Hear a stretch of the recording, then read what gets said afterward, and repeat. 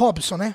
Robson, antes da gente entrar na sua pergunta sobre a atualização da FZ25, eu tenho que falar para você o que, está acontecendo agora, tá? Todo mundo sabe que tá tendo aquela seca, né? Lá na região norte. E o rio lá, cara, é, é, é coisa assombrosa. Ninguém nunca viu nada do tipo aqui no Brasil. E o que está acontecendo? O que está acontecendo? Eu tenho recebido relatos, diversos relatos, na verdade, de inscritos e amigos aqui do canal. Fala que as pessoas que estão aqui não são só inscritos, são amigos também. Porque eles me ajudam a manter esse canal sempre relevante. Porque eles que me mandam notícia, eles que me mandam o que está acontecendo. Inclusive, eu queria agradecer ao Vando Rocha, que é inscrito e membro aqui do canal. Vando, ó, obrigado pelo áudio. O que acontece? O Vando, ele fez uma pesquisa lá. E ele levantou, eu acho que em três lojas diferentes que ele, que ele me falou. Vando, se eu tô falando besteira, me corrija aí nos comentários, por favor, tá? E o que acontece? Lá no Rio de Janeiro, ali naquelas regiões, tá tendo um, um, um efeito em cadeia das lojas, tanto Honda quanto Yamaha, porque eles estão aumentando os preços das motos com a justificativa que tá tendo é, aumento lá na região no, é, seca, tá? Na região norte. Pode ser que seja realmente um fator para isso acontecer? Pode ser, né? Mas é, por que aumentar o preço absurdamente? Teve casos que aumentou quase 3 mil reais o preço das motos de forma autônoma. A Yamaha mesmo no PPS não aumentou nada, entendeu? Então nas lojas aumentou o preço das motos. É lógico, né, que a gente tá meio que por fora. Cinco lojas, olha aqui ó, o Vando, ó. O Vando pesquisou em cinco lojas. Você entendeu? Então, cara, é... Ó o guardinho, vai com Deus, mano. Vai com Deus. É, liguei para mais algumas agora, mano, só para confirmar. É isso aí. Todo mundo falando a mesma coisa, entendeu? É 25, 25 e 500, 24 e 500, entendeu? E há pouco, e há duas semanas atrás, estava tudo 22 e 500, 23, entendeu? E todos os vendedores falando que as motos da Honda e da Yamaha vão tudo subir por causa da seca. Só fala isso. Ah, o senhor tá sabendo sobre a seca? Ah, seca. Tudo por causa da seca. Né? Por enquanto a Bajaj tá mantendo o valor lá, normal, entendeu? Mas aí a Yamaha subiu tudo. E, e, e aí que eu falo para vocês que é nessas horas que o consumidor ele tem que colocar é, a, sua, a, a, a sua força em vigor mais uma vez. Qual que é a força do consumidor hoje? Não comprando. Entendeu? Liga, pergunta, quanto que tá? Ah, por que que tá esse preço? Ah, tá, tá. Ah, beleza. Tipo, não compre. Deixa lá. Põe na cabeça de vocês, o interesse maior de vender é deles, não é seu. Entendeu? Quem tem que bater meta? Não é você. Entendeu? Aí que eu falo para você, ó, que o Silvio falou uma coisa que é verdade. Brasileiro não perde a chance de tirar proveito de uma situação ruim a seu favor. Tá? É lógico que deve ter vários outros fatores que. Ah, tá ligado? Os caras devem ter, sei lá, os motivos dele, mas o que, que o consumidor final tem a ver com isso? Entendeu? Então eles vão dar uma justificativa. Aí o Timontão me falou uma parada hoje que é muito real deram essa mesma justificativa na pandemia, subiram o preço das motos, moto disparou, passou a pandemia, aí inventaram outra desculpa. Não, porque agora tá isso. O preço continua.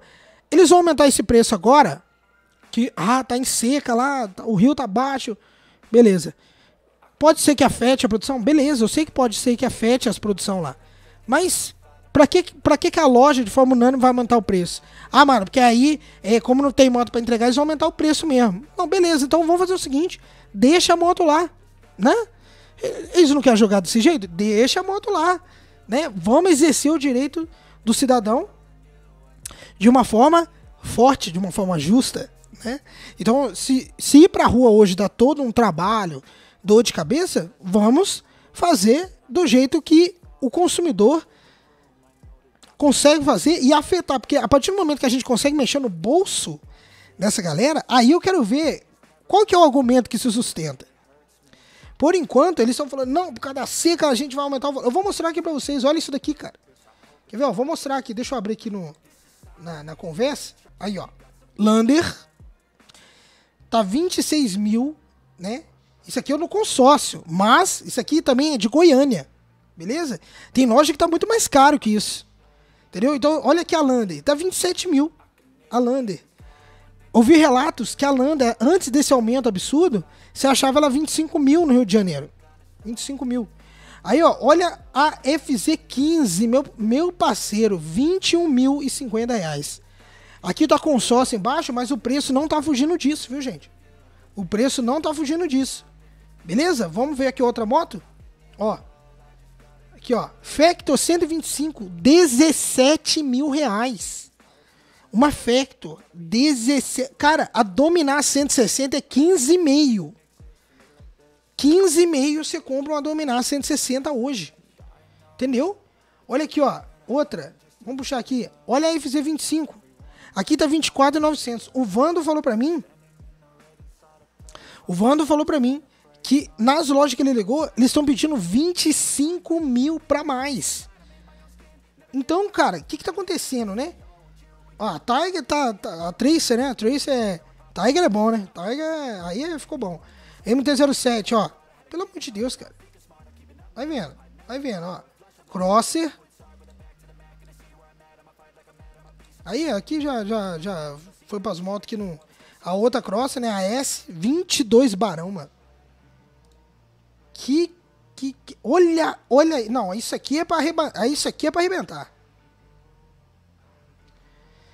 Isso aqui é pra arrebentar. Tá? Factor 150 UBS, 18 mil reais. Cara, o que tem nessa moto que vale 18 mil? Não.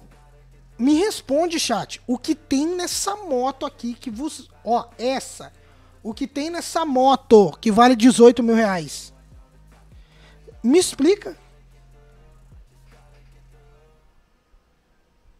Meu Deus do céu. É nessas horas que os brasileiros têm que se unir e não aceitar isso aqui não, velho. Quer cobrar? Beleza. Não compre. Não compre. Não aceite. Cara, 18 mil reais uma Factor. Puxa vida. Tem condição isso aqui não, cara. Então é o que eu falo pra vocês. Vamos nos unir e dizer não aos preços abusivos. Tá? Isso aqui não existe. Isso daqui que vocês viram não existe. Não existe. Se fosse qualquer outro país que a população fosse mais unida, isso aqui, meu filho, os caras iam passar mal na hora de vender. Mas como aqui é, aqui é Brasil, como eu diria, né, o Dominique Toreto, aqui é Brasil. Hum. 21 mil na FZ15 é complicado. Complicado demais, né, cara?